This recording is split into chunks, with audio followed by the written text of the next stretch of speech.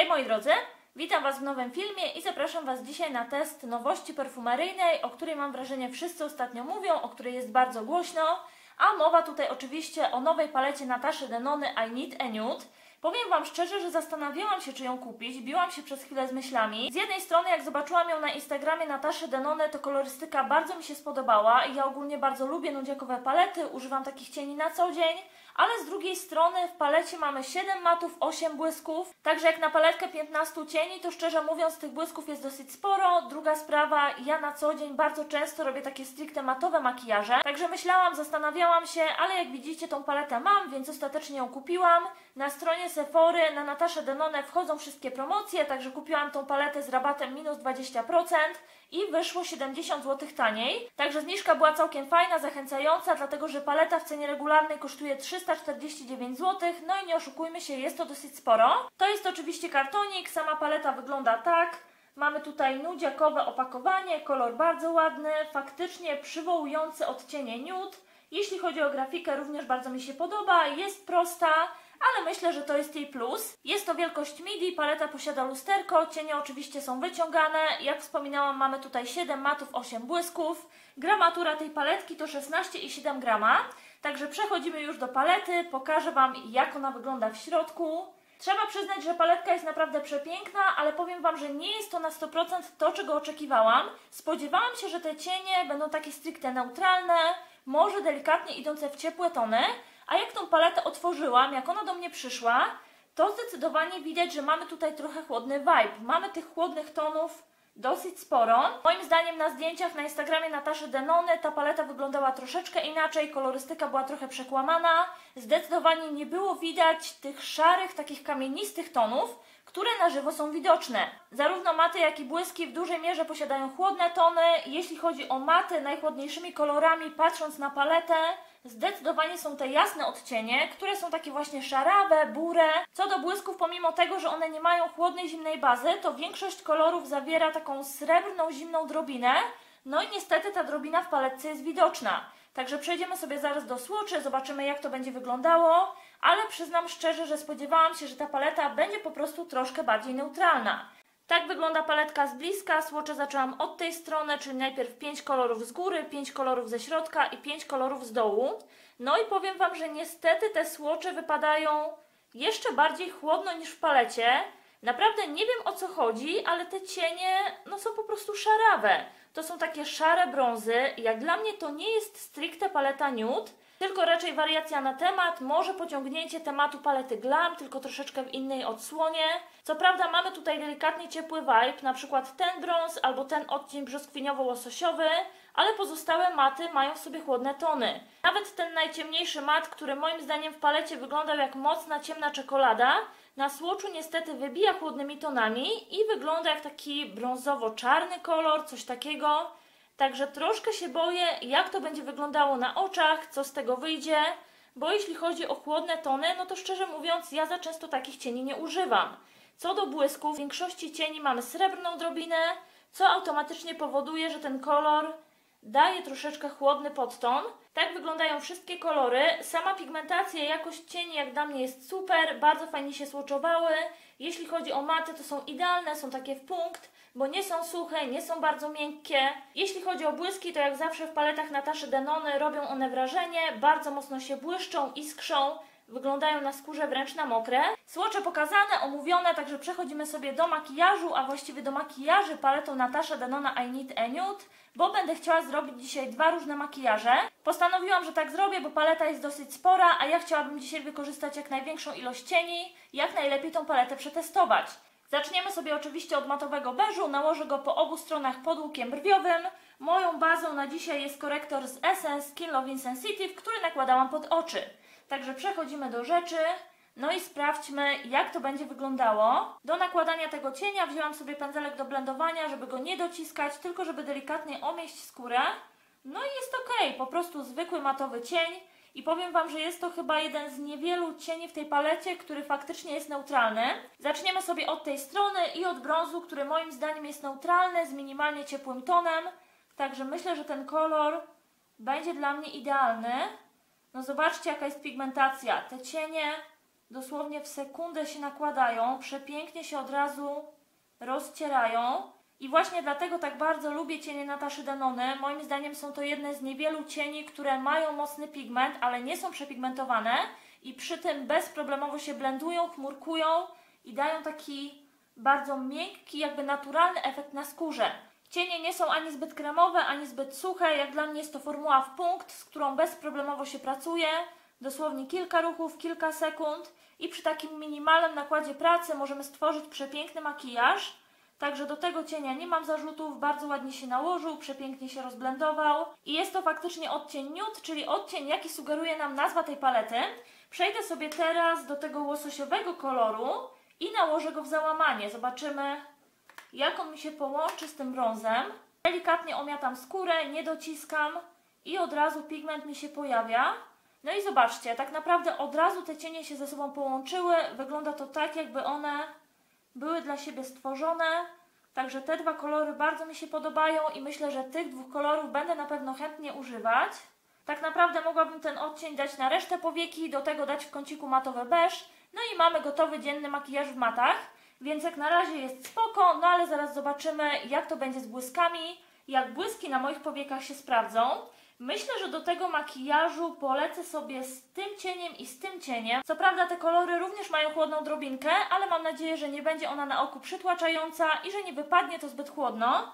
Także na środek powieki nałożę sobie ten odcień. W opakowaniu wygląda on jakby miał teksturę lekko płatkową, ale powiem Wam, że jak nałożyłam go na palec, to się bardzo ładnie roztarł i wygląda dosłownie jak tafla.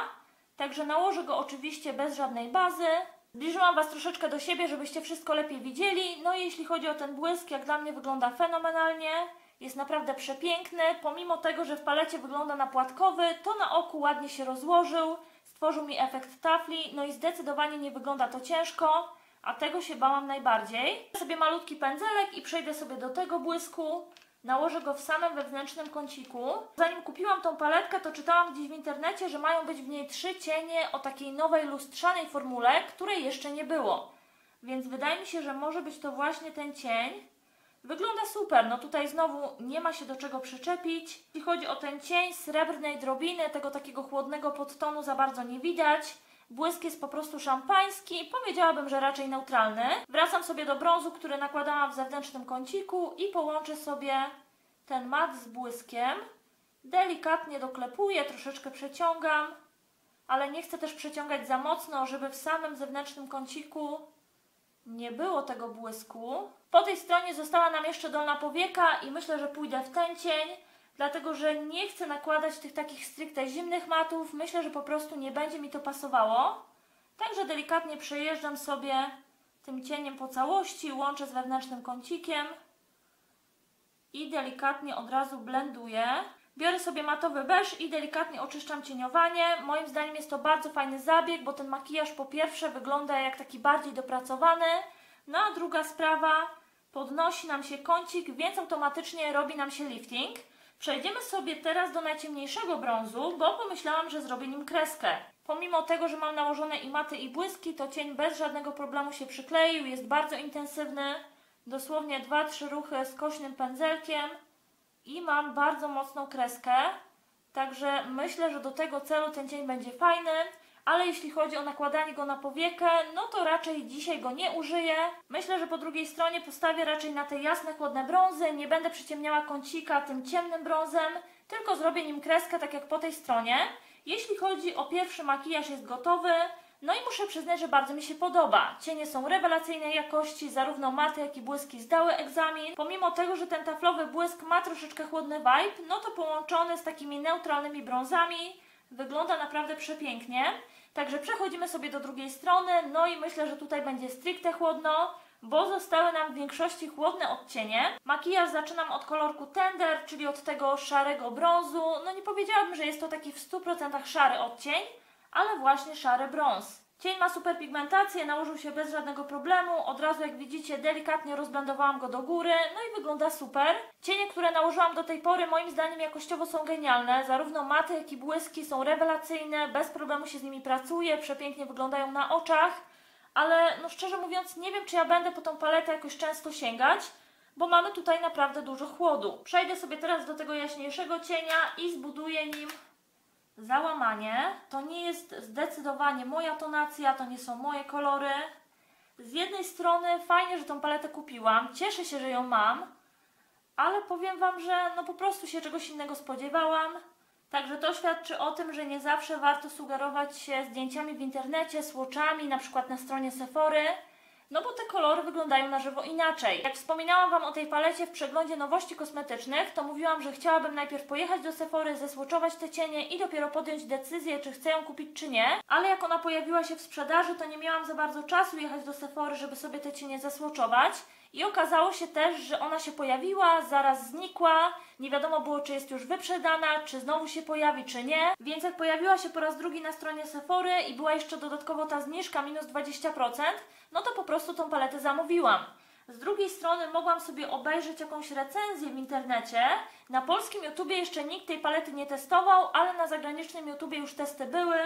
Także mogłam zobaczyć, jak ona wygląda na oczach. Niestety tego nie zrobiłam, no i okazało się dzisiaj, okazało się w dzisiejszym teście, że te cienie wyglądają troszkę inaczej niż na zdjęciach, że mamy tutaj dużo więcej chłodnych tonów, niż można by było ze zdjęć wywnioskować. Przejdziemy sobie teraz do błysków. Na środek powieki nałożę odcień Whisper, a jeśli chodzi o wewnętrzny kącik, nałożę ten cień. I mam wrażenie, że to też jest ta nowa lustrzana formuła. Także standardowo nakładam go na sucho, bez żadnej bazy. No i przepięknie się przykleja. On jest delikatniejszy niż ten, jest zdecydowanie subtelniejszy, ale jest też lżejszy. Nie mówię, że ten cień wygląda ciężko, ale tutaj jest to zdecydowanie subtelniejszy efekt. No i jest to odcień chłodny. Jest to taki stricte chłodny błysk.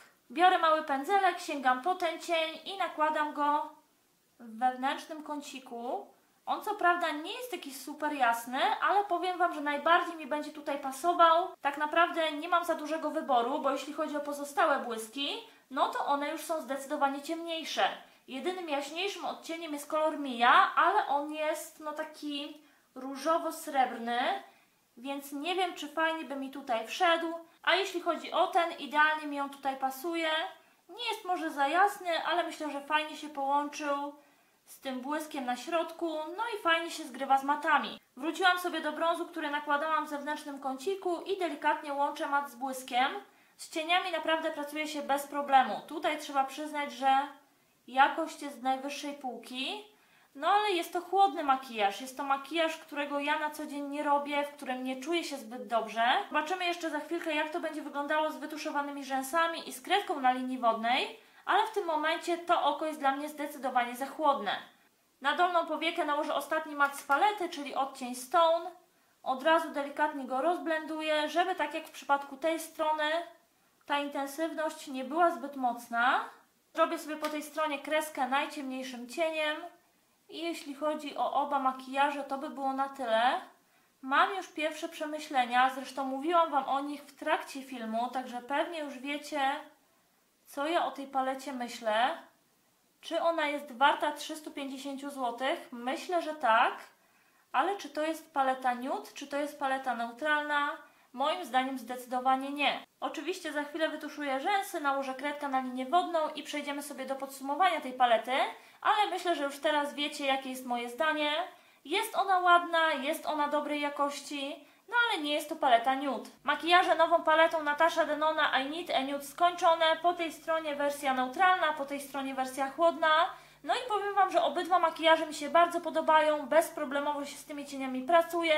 Zarówno maty, jak i błyski najwyższej jakości ale niestety przyczepiłabym się trochę do nazwy tej palety i zdecydowanie do tonacji. Moim zdaniem, jeżeli ktoś słyszy nazwę I Need a Nude, no to myśli o nude, myśli o nudziakowych makijażach, o brązowych makijażach. Ja nie mówię, że ta paleta miałaby być ciepła, bo to też nie jest do końca taki stuprocentowy nude, ale jeżeli miała być neutralna, no to powinna być neutralna a ona w bardzo dużej mierze idzie w chłodne tony. Tak naprawdę jeśli chodzi o maty w tej palecie, to mamy tylko neutralny beż oraz dwa brązy, które są neutralne z delikatnie ciepłym tonem ale powiem Wam, że na oku za bardzo tych ciepłych tonów nie widać i wypadają po prostu neutralnie. Pozostałe maty niestety są chłodne, są zimne. Nie mówię, że wygląda to super źle, dlatego że jakość jest bardzo dobra i po prostu da się te chłodne tony ograć, ale to nie jest zdecydowanie mój vibe. Ja w takich makijażach na co dzień nie chodzę, więc myślę, że za często po te chłodne brązy nie będę sięgać. Co do błysków, to nie wiem szczerze mówiąc, co Natasza Denona miała na myśli, ale w większości tych cieni jest srebrna drobina,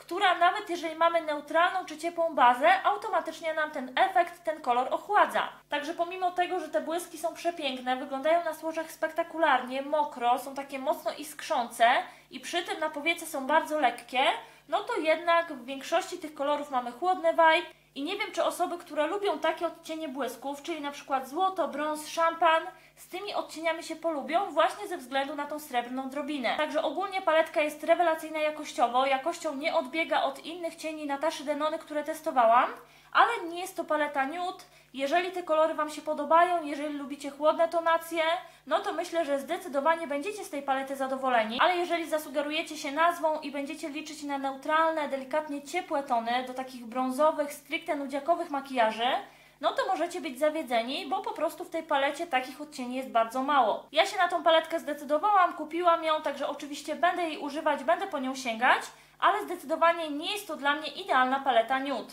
Jeśli chodzi o test nowej palety od Nataszy Denony I Need a Nude, to by było na tyle. Mam nadzieję, że miło spędziliście ze mną czas, że odcinek Wam się spodobał. Jeżeli tak było, zostawcie kciuka do góry, będzie mi bardzo, bardzo miło. Oczywiście dajcie znać w komentarzach, czy zdecydowaliście się na tą paletę, czy ją kupiliście, czy już ją testowaliście i napiszcie, co na jej temat sądzicie. Jestem bardzo ciekawa, czy Waszym zdaniem jest to paleta nude, czy jest to paleta neutralna, czy jednak macie podobne zdanie do mnie i uważacie, że jest to paleta troszkę zbyt chłodna. Jeżeli jeszcze mnie nie subskrybujecie, to oczywiście zachęcam, żeby być ze mną na bieżąco i do zobaczenia już niedługo w kolejnym filmie. Pa, pa!